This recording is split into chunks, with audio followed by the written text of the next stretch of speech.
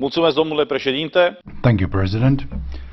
The cooperation and verification mechanism has been implemented in 2006 before Romania and Bulgaria joined the European Union. The purpose of this mechanism was to provide a system of analysis and checking of the justice system in Romania and Bulgaria to make sure that when these countries are integrated in the EU will reach the same standards of uh, with regard to the rule of law as uh, the other European uh, countries.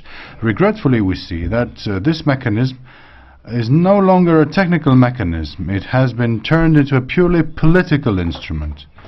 And the report uh, concerning Romania contains a lot of errors that have generated negative reactions among the magistrates of my country.